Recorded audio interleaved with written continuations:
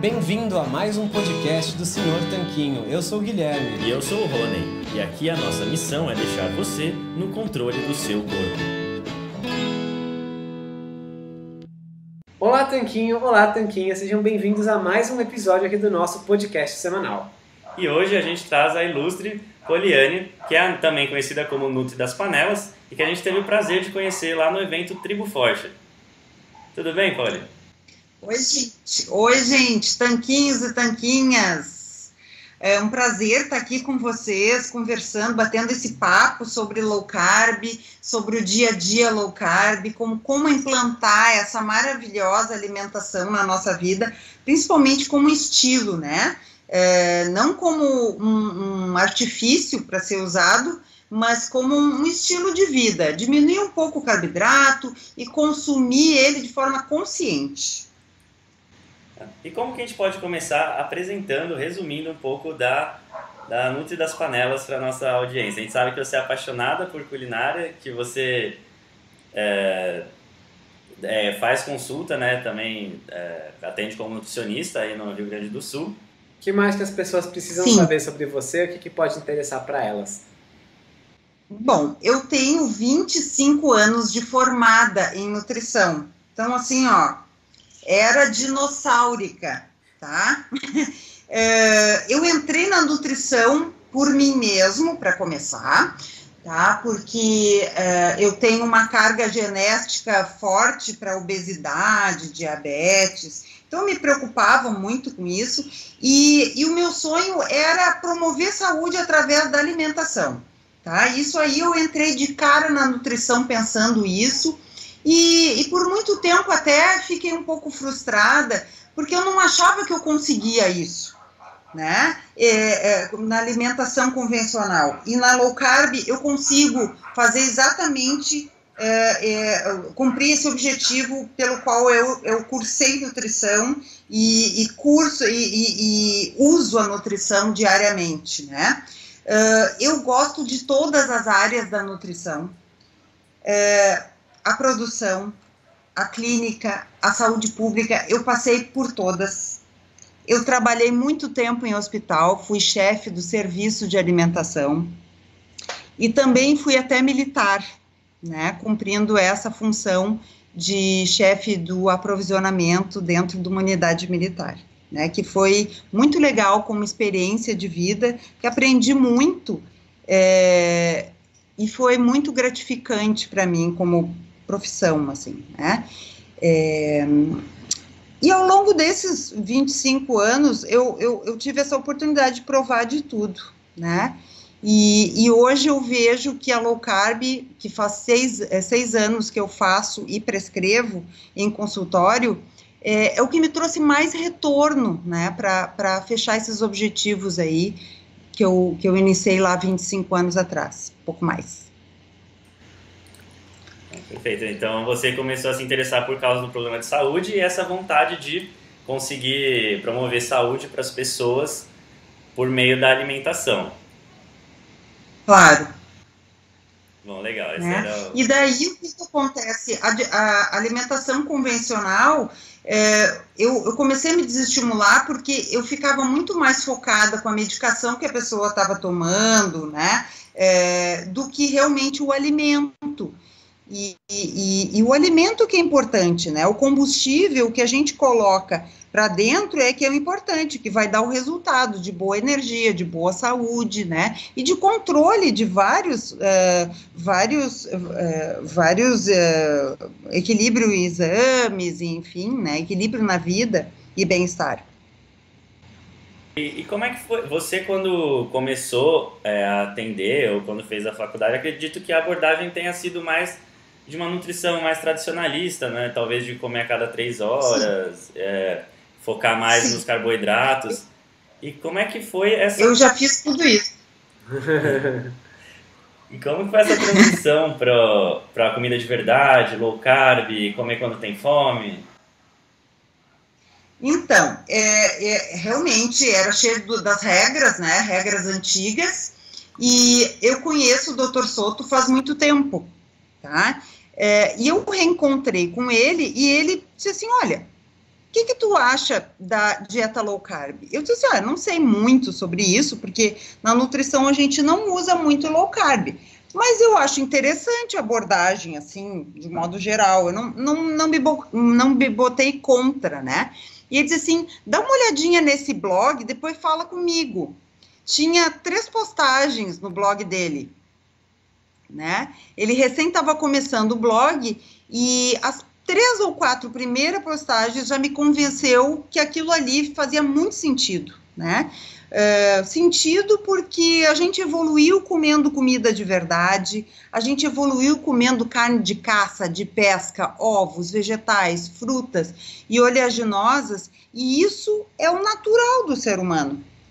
A, a, alimentação deve gerar bem-estar e não compulsão, né? E o que a gente observa hoje, as pessoas muito compulsivas. Então, eu comecei, como a maioria das colegas e a maioria das pessoas, testando testando comigo mesmo, é, lendo, estudando e, e, e, vendo que os estudos e os artigos cada vez mais estão estão colaborando e sustentando é, essa, essa teoria né, de alimentos é, com menos carboidrato na nossa vida e, e fui achando a minha fórmula, né? E com isso eu junto com o paciente tento achar a fórmula para ele né? A gente vai conversando e vai vendo, nada é para todos. A gente tem que ver como é o funcionamento, quais são as, as características que rondam a, a saúde daquela pessoa. Né? Então, eu não gosto muito de dar altas declarações, né? Faça isso, faça aquilo, porque eu não sei se meu paciente que tem um perfil mais doente vai conseguir chegar naquele nível, né? Então, assim, ah, é, é, você pode comer o quanto quiser num fim de semana, né? Não, não deve se prender a, a, a paradigmas e tal. Eu, eu fico meio desconfiada, porque às vezes meu paciente diabético não pode ouvir isso, né? Eu tenho que tratar ele de uma forma diferente. Então, é, essa construção e esse caminho de autoconhecimento é, é que eu tento é, trilhar no, no, consultório, sempre com a evidência na mão. Né? É, e na nutrição a gente não tinha evidência. Aliás, em nenhum lugar, né? Eu acho que nos últimos anos que isso começou a ser é, é, modificado, né? Da gente observar muito mais as evidências científicas do que é coisas fixas, né? Que a gente aprendeu como dogmas antigamente. Sim. Essa é a atualização, né? Atualização em nutrição. E você falou isso de, às vezes, a pessoa buscar uma abordagem meio fechada, né? Que é um erro comum, a pessoa achar, ah, eu vi na internet, alguém fez desse jeito, vou fazer igual, só que o metabolismo é diferente. Sim. Esse é um erro muito comum dos iniciantes. Muito comum muito comum. Tu sabe que uma das coisas que eu mais, assim, é, é todo dia acontece isso, é receber o WhatsApp com produtos malucos, né? É, produtos dietéticos, produtos que alguém disse que era bom, né? Porque a internet está muito grande, né? E, e, as pessoas têm acesso e acham aquilo legal. Ai, que legal, leite condensado dietético, vou provar, né? É, para uma pessoa normal, magra, que não tem problemas, eventualmente comer um produto X ou Y não vai causar problemas, né? Mas às vezes tem pessoas com mais comprometimento que pode uh, levar a compulsão ou mesmo descompensar algum tipo de exame, né? Então isso aí eu acho que é um cuidado que a gente tem que ter. Todo mundo que está falando em dieta hoje tem que ter um cuidado para o pessoal que não está só querendo perder um peso, que está querendo uh, equilibrar a saúde que já está bem desgastada e bem descompensada. Sim. É um compromisso que a gente tem com as pessoas isso. Quais são outros erros comuns que os iniciantes cometem quando iniciam esse estilo de vida? Pode. Eu acho que uma das coisas é a tal da mágica, né? Eles já querem sair com o troço pronto e mastigado de preferência. Então, assim, eu costumo dar um, um, uma pastinha com seis folhas de orientação, tá? Dicas, uh, exemplo de cardápio, é, uma cápsula de receitas para ela começar, lista de compras, tudo bem esmiuçadinho, direitinho, e as pessoas não leem, né? Elas me perguntam coisas no WhatsApp que estão escritas, que eu falei na consulta e que estão escritas na, na pastinha, né? Então, isso de ser mágico, de ser rápido, né? Principalmente ser rápido. A comparação com outras pessoas que se deram melhor, que foram mais rápidas e mais eficientes, né? E, e tudo muito uh, mastigado é, é um dos problemas, né? Outro problema que eu acho é a questão da organização e logística, que é a, a, a espinha dorsal para dar certo qualquer coisa que tu for fazer na vida, né? Então, se tu for fazer uma alimentação, tu tem que saber o porquê que tu vai comer, a quantidade que tu vai comer, se é boa para ti, né? A qualidade do teu alimento, é, quais são as preparações que tu pode fazer, o que que eu posso já deixar adiantado para facilitar a minha vida, o que que eu tenho que ter dentro da geladeira, né, para não chegar no momento de fome, de cansaço e comer o que tiver na frente. Então, a logística e a organização é bem importante, né? E outra coisa que eu, que eu acho assim bem interessante além do atendi no entendimento dos rótulos mesmo, é saber por que está fazendo a dieta. Né? É, o propósito da dieta é o mais importante de tudo. Se eu tô pela, pela saúde, então assim eu vou lutar pela minha saúde. Se é só bem, se é bem-estar, se é só para emagrecer, então assim tem muitos objetivos que a gente tem que conversar para isso ficar bem claro, porque quando a gente tem um propósito na vida, as coisas ficam mais fáceis de executar. Para estabelecer uma rotina, tu precisa do, do, de toda essa estrutura, né? E às vezes isso leva tempo. E quais são alguns motivos dos principais que você recebe no seu consultório que as pessoas se interessam por low carb? Bom, uh, primeiro que podem comer. né? Uhum. É, pode comer e ficar saciada. Isso eu acho que é uma coisa bem legal. É, porque numa dieta convencional a gente come, mas não fica bem saciada, né? Então daqui a duas ou três horas a gente quer comer de novo. E até a orientação é comer de novo. Então, assim, a pessoa come bem e fica saciada. Então, ela já procura isso. Eu quero emagrecer, mas eu quero comer. Eu quero me sentir bem eles saem muito felizes de ver possibilidades, né, de receitinhas, a, a, os próprios alimentos, assim, como são gostosos e nutritivos, né, então isso é legal, eles saem bem animados com isso. É, outra coisa que eu acho que, que dá um gás nas pessoas que já procuram é a questão do controle. Ah, com essa alimentação eu me sinto no controle. Eu tenho fome, quando eu é, tenho fome eu como, né?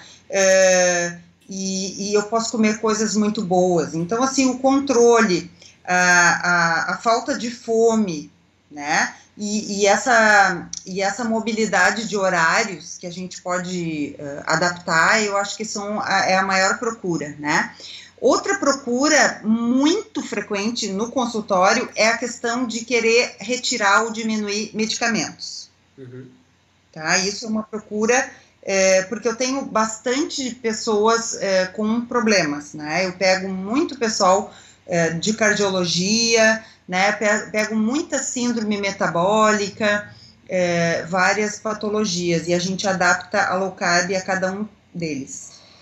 É, e eu vejo que é, é, muita vontade de diminuir a medicação, ou então de evitar um progresso, né, um aumento de medicação por conta dos, dos problemas que a alimentação está gerando, a, a, a, alimentação que não está dando certo, né. Então, essa é a procura maior. É, você citou o fato das pessoas não passarem fome como um grande motivador, é, mas também tem a questão das quantidades, né? Que você, até mesmo antes da gente começar a gravar, você já tinha tocado nesse assunto, que mesmo com você só comendo low carb já chegou a ganhar peso, e acho que isso acontece com outras pessoas, de às vezes não estar tá perdendo peso e, e mesmo estando fazendo tudo certo. E o que, que você podia falar, assim, de quantidades para o pessoal? É, muito, isso aí realmente, a quantidade, às vezes a pessoa é, procura porque já está bem orientada, porque hoje a gente já tem, né, esse mercado todo, as pessoas já vêm bem orientadas, ou já vêm pelo médico orientada, né, ou já leu bastante, já leu todo o blog do Dr. Soto, seguem os tanquinhos, né, é, já tem uma, uma, uma, uma ideia geral, né, mas as quantidades realmente são individuais. Né? O meu metabolismo, eu sempre conto isso assim, ele é bem resistente. Ele é bem resistente mesmo. Eu não posso comer em excesso. Né? E eu uh, aprendi isso uh, comendo e engordando em low carb. Né? Não é que eu esteja uh, comendo muito, mas é que o meu metabolismo ele tem um limite, né? E o meu limite eu tenho que respeitar.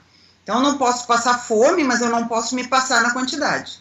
Se eu me animar no churrasco todo dia, eu vou engordar. Então eu tenho que ter um número estipulado, né? Principalmente uh, a parte dos queijos, das natas, das oleaginosas, né? Do, das receitinhas deliciosas low carb, uhum. que a gente não pode extrapolar.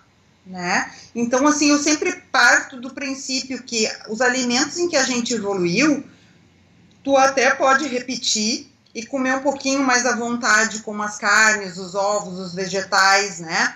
É, mas os alimentos é, que vieram depois e que são muito gostosos ao nosso paladar, a gente tem que moderar. Então, é uma porçãozinha, é uma colherada, é, é um potezinho padrão, né?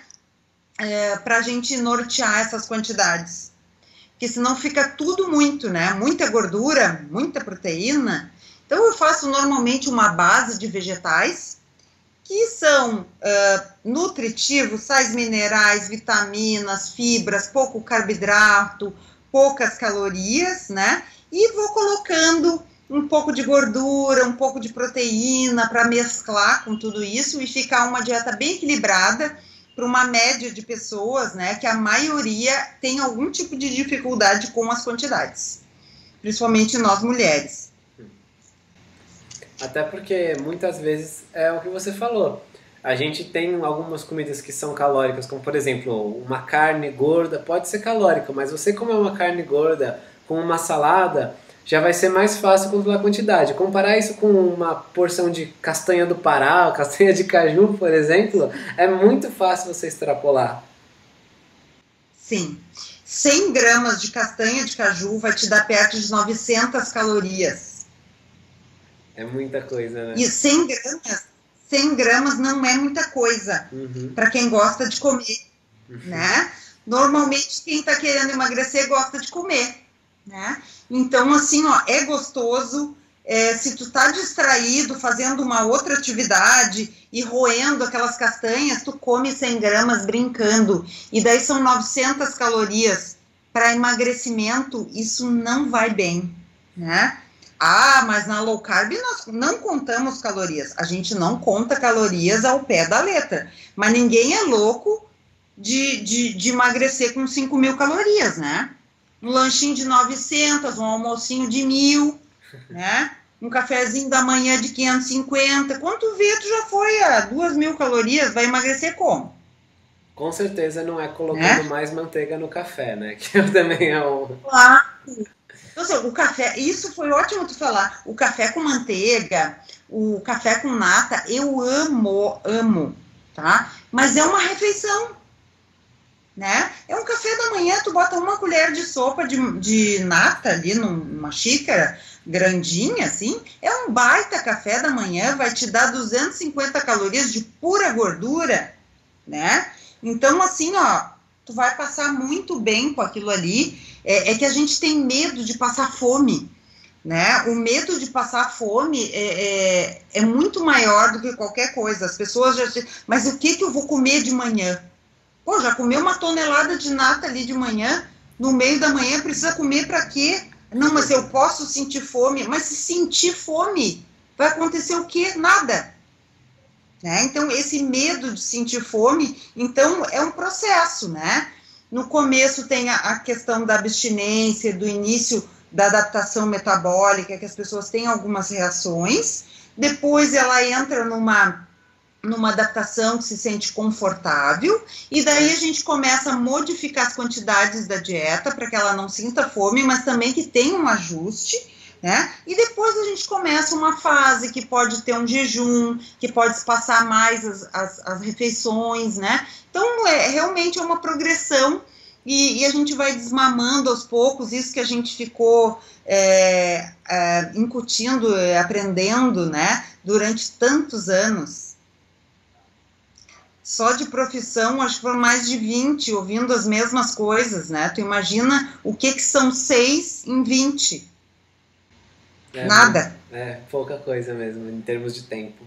É, imagina uma pessoa mais idosa, né? É, se eu ouvir 25 anos ou mais, né? É, muito mais, porque eu tenho mais uh, idade, mas assim, uh, de, de, desses paradigmas antigos, tu imagina uma pessoa que tem mais vivência, né, e já fez tudo que é tipo de dieta e tudo mais, pensa que é mais uma, né? Não pensa que é um trabalho de construção. É, isso daí entra também na questão interessante que a gente estava falando de pessoa tem que ter um pouquinho de paciência e ter, entrando na dieta e adequando a dieta à vida dela e, e vice-versa, vendo como que o corpo responde, é, mesmo com relação às quantidades também, às vezes varia. A gente tem metabol, quem tem metabolismo mais acelerado pode comer um pouquinho mais também. Ah. E é um, autoaprendiz, um autoconhecimento né, que você vai ganhando com o tempo. Claro, não, é com o tempo mesmo. Então, assim, ó, o tempo me ensinou muito e, e foi espetacular cada, cada minuto de paciência que eu tive né, em, em, fazer essa adaptação, porque hoje é muito mais segurança, não só para minha vida, mas para passar para as outras pessoas. Né? As pessoas que estão começando agora e que têm dificuldade, que acham que não vai funcionar, né, que fica muito ligado à questão da, dos números, da balança, né? E a gente vê que uma foto, ou mesmo até uma roupa, pode nos contar muito mais do que um número na balança. Afinal, ninguém vai sair com o número da balança grudado na testa, né? Uhum. A gente vai, a gente vai sair com aquela roupa mais folgadinha, com mais conforto, né? Melhorando a autoestima é, e conhecendo a sua meta real. Né? Isso é outra, uh, outro item, né? Uh, eu nunca faço o, o cálculo do peso ideal para altura. Tá? Eu, eu tento achar um peso real para a pessoa, né? um peso que ela consiga manter com conforto, né? que a gente quer que seja uma mudança. A gente quer que isso seja realmente um estilo de vida, que ela consiga seguir por muito tempo e se curar desse problema. Certo. E você menciona isso de estilo de vida na sua trajetória, né, a gente sabe que faz anos que você não sai da dieta, não come uma porcaria. E muita gente ouvindo isso deve estar pensando agora: qual é o segredo? Qual é a questão que permite que você viva assim? Tu sabe, você sabe o seguinte: eu, eu fiquei apavorada lá na Tribo Forte, é, que eu fui a segunda pessoa a falar sobre isso, o como é que era a minha vida né, na low carb. E eu falei isso assim naturalmente e eu não imaginava que isso era tão minoria.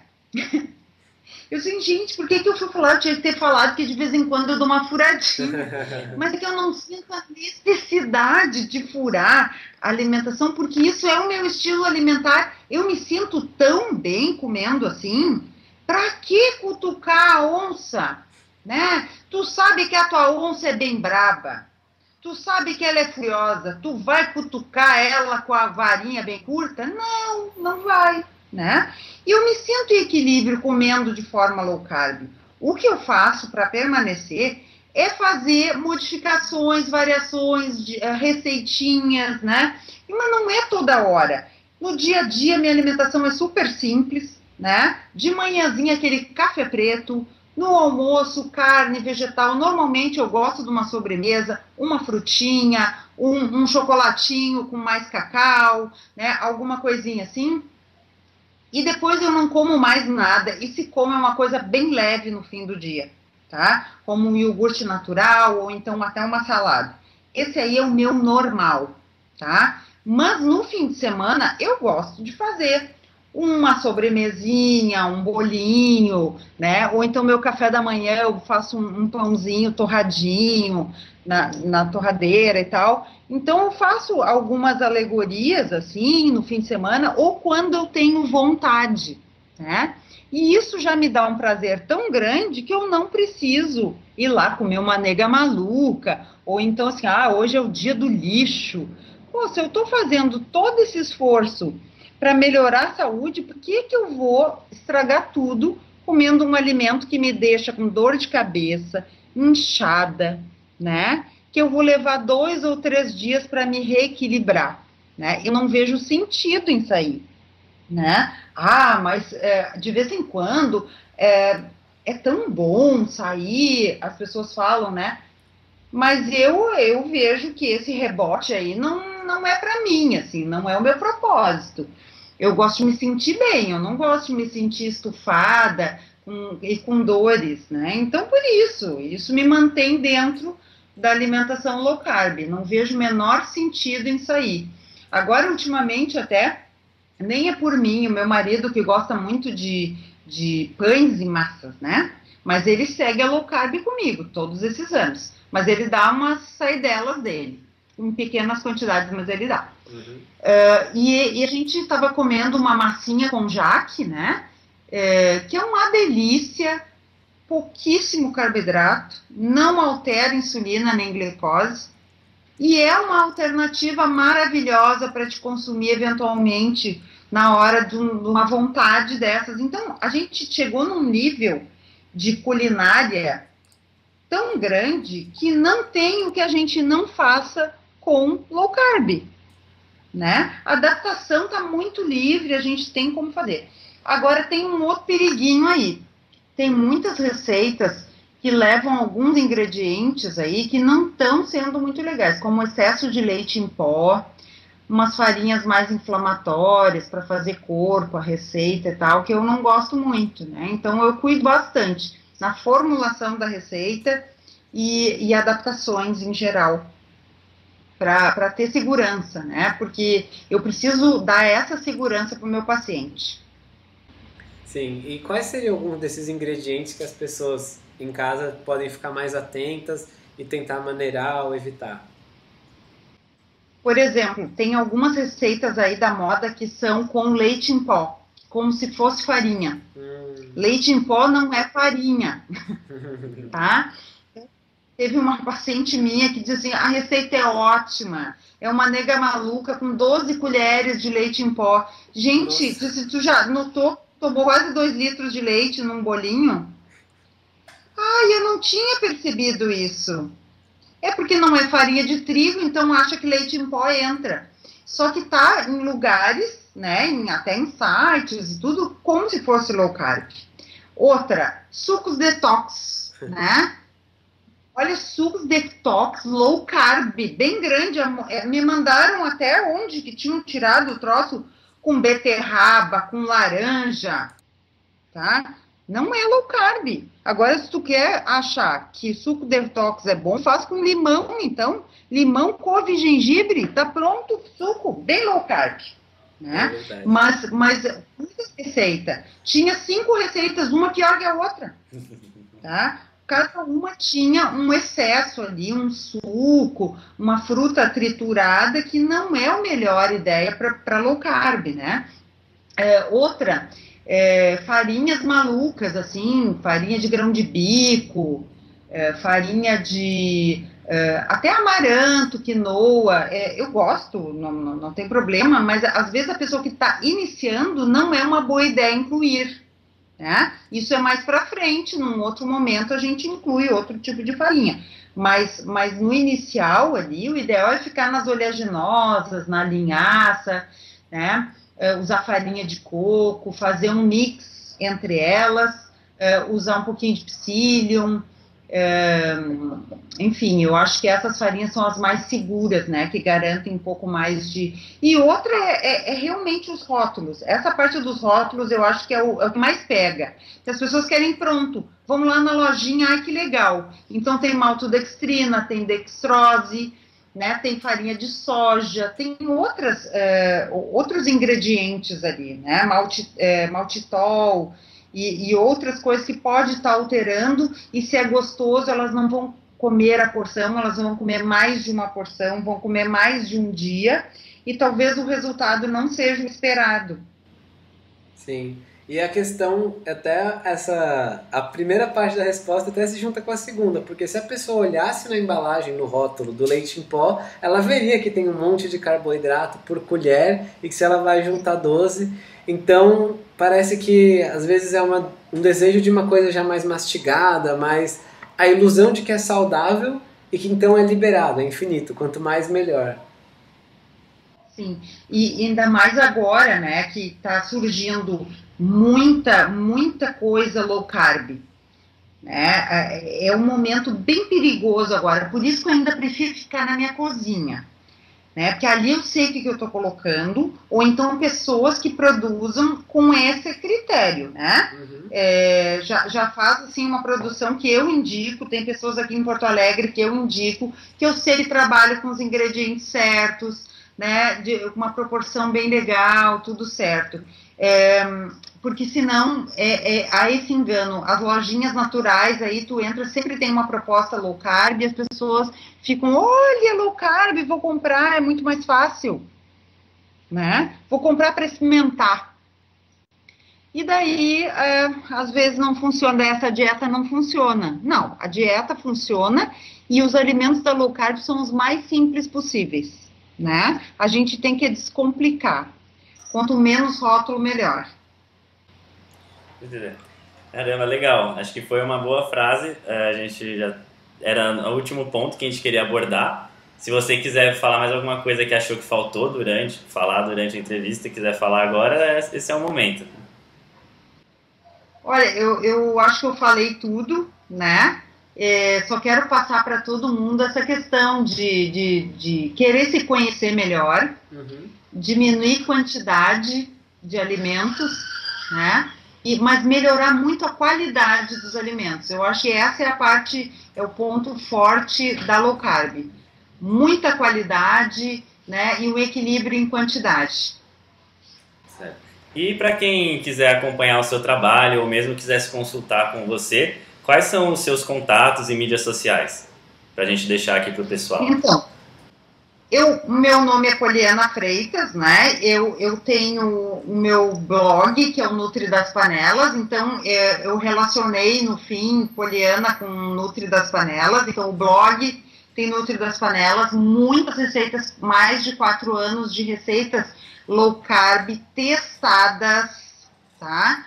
É, e seguras dentro desse espaço do Nutri das Panelas. É, também é, o meu Instagram é Nutri das Panelas e lá tem outros contatos, como e-mail, WhatsApp para marcação de consulta aqui em Porto Alegre. Né? Então é, é, mais ou menos isso aí. Perfeito, então, Polly. Muito obrigada por ter separado esse tempinho para falar com a gente, para ter trocado suas impressões. Obrigada para ter trocado suas impressões de low carb e desse estilo de vida que não só você passa para as pessoas, mas que você vive no dia a dia. E acho que isso é muito, muito valioso para quem está escutando a gente agora. Isso mesmo.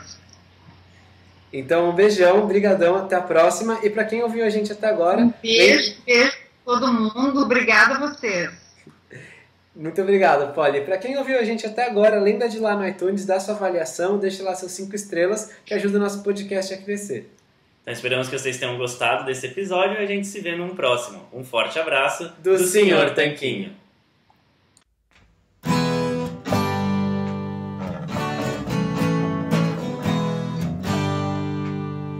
Você acabou de ouvir mais um episódio do podcast do Senhor Tanquinho. Não deixe de se inscrever para não perder nenhum episódio com os maiores especialistas para a sua saúde.